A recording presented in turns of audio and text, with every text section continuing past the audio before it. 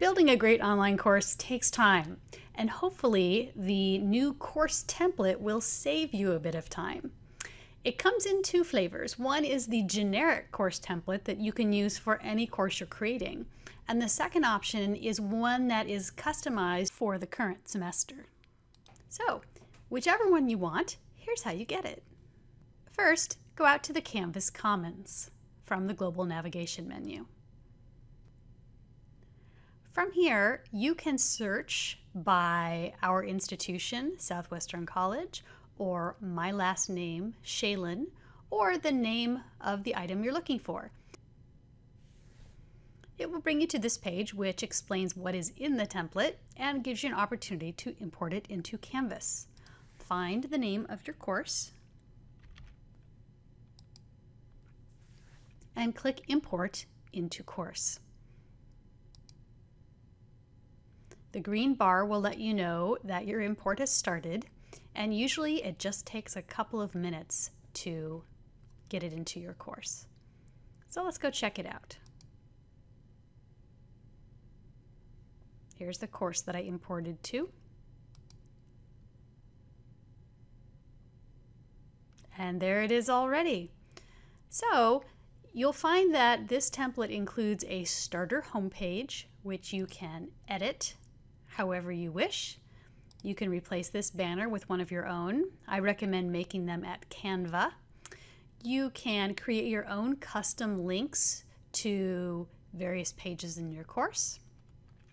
You can add your own photo and customize the fields for the instructor name, email address, phone number, and office or virtual office. You can make this two separate lines if you wish. This is just placeholder text.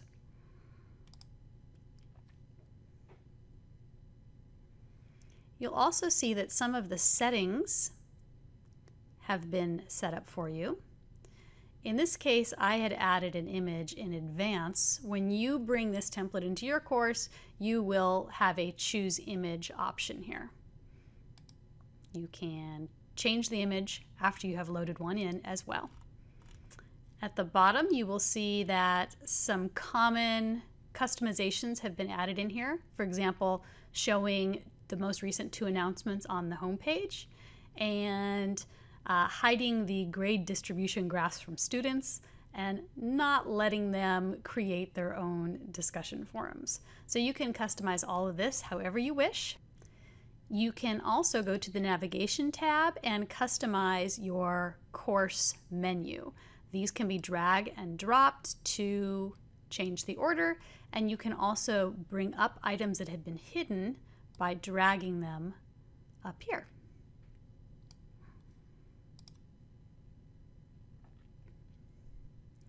You'll see that I have a module called Faculty Toolkit. Be sure that you don't publish this. If you do, the students will see it and they'll be very confused.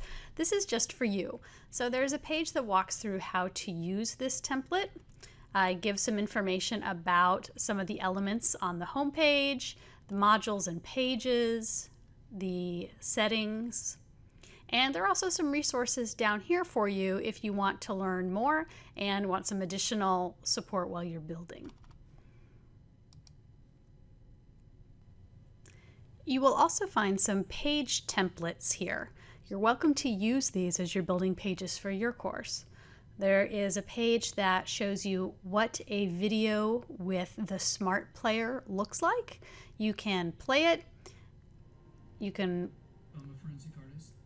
check out the interactive transcript on the side, try out the search feature.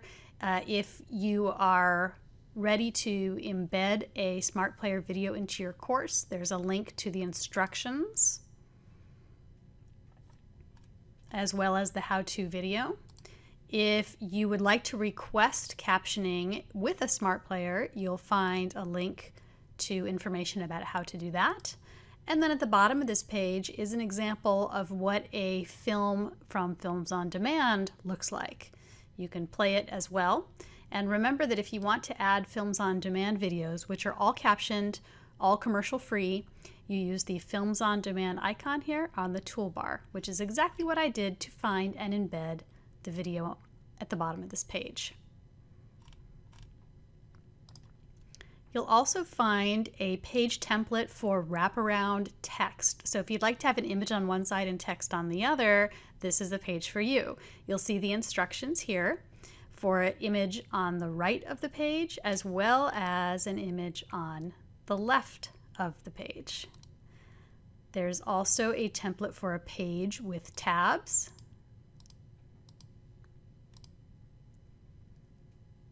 And there's a template for buttons if you would like to play with those. What I recommend you do if you want to try out one of these is not to actually edit the template here, but to make a copy of it. That way you can learn how to use it and then you can make another copy to put uh, additional content in. To make a copy of a page, use the settings gear to the right of the page's name and select duplicate. This will make an exact copy of the page, ready for editing.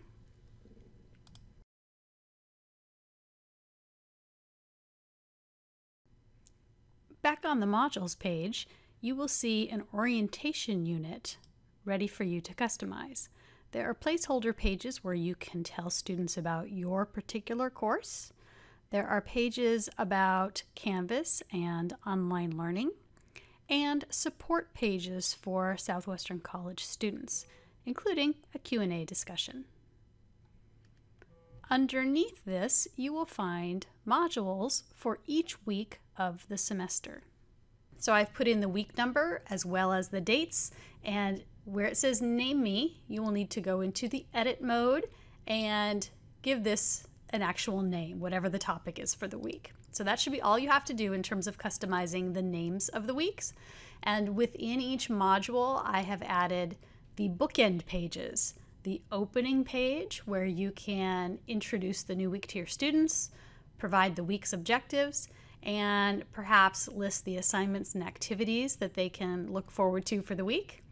Then, of course, you will add all of those assignments, activities, course content, and then I've included a starter concluding page, a wrap up page that you can use to recap what was done during the week and perhaps look ahead to get students thinking about what's coming up in the next week. This is all fully customizable, so feel free to change the graphics or the colors, delete things. Uh, if you don't want a looking ahead section, if you'd like to do something else like um, additional resources, this is all completely customizable. You also can delete extra modules if you don't need them all. So this is for a 16 week semester. If your course is an eight week course, you can delete the modules by clicking on the gear icon and selecting delete for whichever ones you don't need. Okay, that's it for our quick tour of the template. I hope you find lots in here that makes your life easier. Happy building!